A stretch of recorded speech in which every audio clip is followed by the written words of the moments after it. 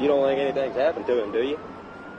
I think one of them buckle bunnies from last night was looking to happen to him in a big way. yeah, well, enough for you to lock the van. Listen to this one. It's called Waiting on Lane. We've been waiting on Lane ever since we recall. We started in April and it's coming on fall. We have us a bite, we have us a chew, we get us some shut eye, we have us a brew. Well, someone's taking his picture, someone's wanting a loan, he's kissing the babies or he's on the damn phone.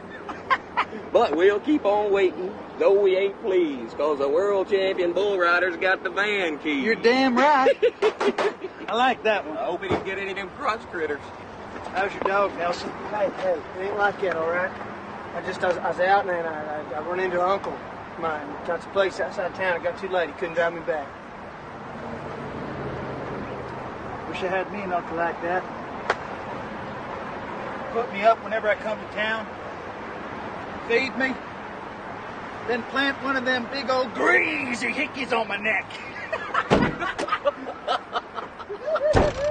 Give me a bang for this.